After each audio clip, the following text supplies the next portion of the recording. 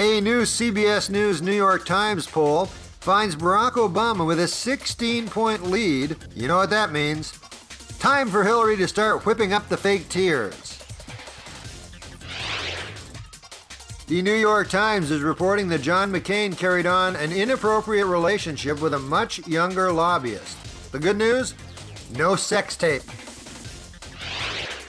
Christian conservative candidate Mike Huckabee announced his plan to wipe out the trillion dollar deficit. He's going to pass the collection plate from the West Coast and back. Reporters suspect that John Edwards is leaning towards supporting Barack Obama he was interviewed at a salon getting cornrows.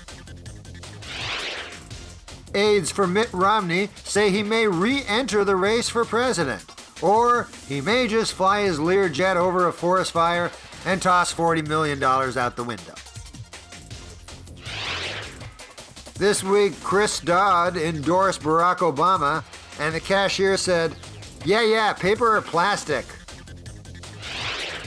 The Supreme Court plans to hear arguments this year in the 1989 Exxon Valdez oil spill case. And after that, they're going to look into this whole Lusitania business. A man in Tampa, Florida spotted what hundreds now claim is the image of Jesus in a slab of granite, although many believers are dubious, as it is not in a grilled cheese sandwich. Heather Mills has settled with Paul McCartney for $104 million and says she wants to use the money to move to Los Angeles. Paul McCartney is thrilled because that's where a celebrity can kill his wife and get away with it.